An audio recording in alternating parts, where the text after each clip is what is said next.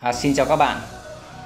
À, Tôi gọi đây là cái dòng tranh à, mã đáo của năm 2025 Đấy, Nó hơi vui một chút nhưng có lẽ là đến năm 2025 Thì dòng tranh mã đáo thành công in công nghệ UV nổi trên cái nền nội Nhật Bản như thế này. Nó vẫn sẽ là một cái dòng tranh rất là hot và được yêu thích bởi à, các cái gia chủ những cái người yêu thích tranh ngựa tranh mã đáo cũng như là tranh dán tường nói chung. Đấy.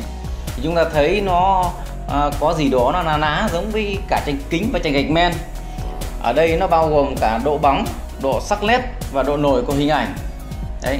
Khi so với tranh kính thì cái chất lượng hình ảnh nó sẽ nổi hơn và sắc nét hơn nhiều. Nhưng mà nó sẽ thua về cái độ bền cũng như khả năng chịu à, lực à, của tranh kính. Còn đối với tranh gạch men ấy thì à, đặc biệt là những ai ưa phong thủy thì dòng tranh này nó sẽ đáp ứng hơn về, đáp ứng tốt hơn về cái mức độ ờ, nền niền nạc, nguyên khổ, nguyên mảnh và không có phạm phong thủy. Cái đó là những cái căn bản. Thế còn ờ, về sau này khi mà cái dòng tranh này nó nổi thì chúng ta sẽ hiểu về nó nhiều hơn. Thế còn ở đây là chúng tôi có thiết kế những cái khung tranh rất là đẹp như thế này. Đấy, cái khung này ờ, thiết kế cần phải có một kinh nghiệm nhất định bởi vì ờ, đối với các cái khổ tường của chúng ta hiện nay nó không có vuông vức một cách tuyệt đối nó không thẳng một cách tuyệt đối.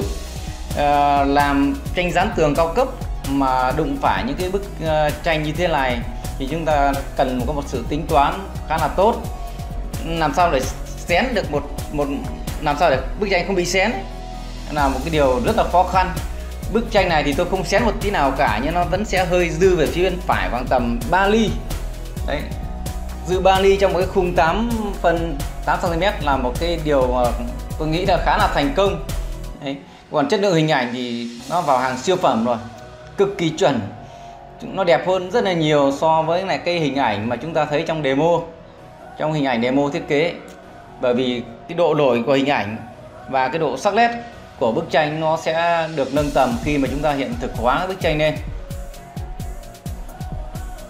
Còn à, một cái điều nữa là à, cái tranh dán tường ấy thì nó có một cái ưu điểm mà tranh kính hoặc tranh gạch men nó không có được ấy hoặc là nó không thể hiện tốt ấy là gì?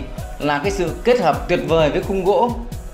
Đấy cái sự kết hợp của tranh dán tường với khung gỗ nó rất là tốt nó cực kỳ ăn khớp nó không quá bóng lộn để để, để nó nó tạo ra những cái, cái kiểu như là mình tranh nó bị đá nhau đấy cho nên đối với tranh dán tường cao cấp thì chúng ta kết hợp với các khung gỗ trong các ô thì cũng cực kỳ tuyệt vời. Hoặc là chúng ta thiết kế trọn vẹn ở những cái ô tường như thế này thì à, nó đều rất là đẹp. Đấy. còn bởi vì là sử dụng vật liệu như thế nào, trang trí thẩm mỹ như thế nào nó còn phụ thuộc vào tính cách con người. Có những tính cách con người người ta rất là hợp với tranh kính thì người ta thích làm tranh kính, người ta hợp với tranh gạch men thì người ta làm tranh gạch men và người ta hợp với tranh dán tường thì người ta làm tranh dán tường. Cái một trong những cái lợi thế lớn của tranh dán tường là chúng ta chơi trong một thời gian năm, bảy, năm, chúng ta có thể lột bỏ đi và làm một bức tranh khác rất là dễ dàng.